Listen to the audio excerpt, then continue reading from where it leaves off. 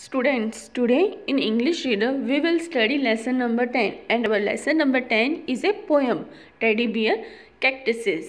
बच्चों आज English reader में अपन लेसन नंबर टेन करेंगे। और अपना लेसन नंबर टेन एक पोएम है। और इस पोएम का क्या नाम है? टेडी बियर कैक्टसेस कैक्टसेस अपन किसे बोल रहे हैं?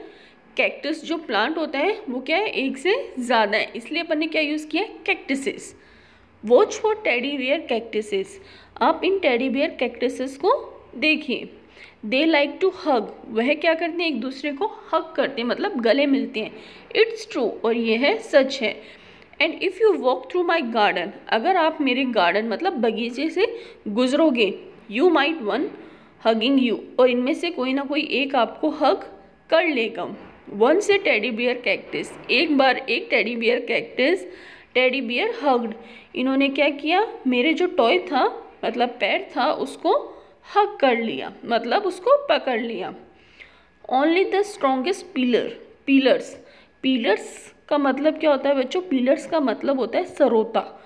सरोता उपकरण मतलब tools only the strongest pillar could make the teddy let go इनमें मतलब जो भी स्ट्रोंगेस्ट सरोता होता है, ये सिर्फ़ उसे ही जाने देते हैं। यू सी आप देख सकते हैं teddy bear cactuses get too lonely I believe जो टेडी बियर कैक्टसेस होते हैं, वो बहुत अकेले होते हैं, यह मेरा यकीन है।